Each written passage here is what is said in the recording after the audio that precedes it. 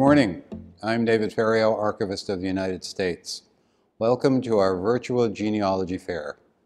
For 14 years, the National Archives has hosted an annual genealogy fair, and since 2013, we've been doing a live webcast on YouTube. Our sessions offer family history research tools on federal records for all skill levels. Thousands of family historians participate in the live event each year. As a virtual attendee, you can participate with the presenters and other family historians and watch individual sessions and download the materials at your convenience. Since going virtual seven years ago, we are able to have these resources and tools available for family historians in the form of lecture video recordings and handouts on our Genealogy Fair webpage.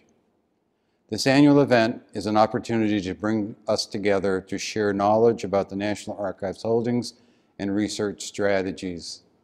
Sessions will offer guidance on the National Archives History Hub, preserving personal collections, using records relating to immigration, World War I soldiers and Marines, Bureau of Indian Affairs schools, and the Homestead Act, as you enjoy this genealogy fair, I encourage you to visit our website, archives.gov.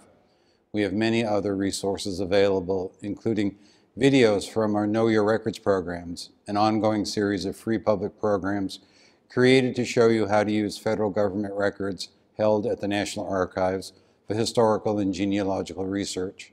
These videos include the previous six virtual Genie fairs our National Archives catalog, where you can find documents of genealogical interest to genealogists, and the Research at the National Archives page on Facebook, where you can follow the latest topics on genealogy.